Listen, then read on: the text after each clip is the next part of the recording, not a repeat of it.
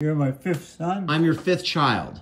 fifth child. Yeah. You are? I am. Mine? I'm Fifth. yours. I'm number five.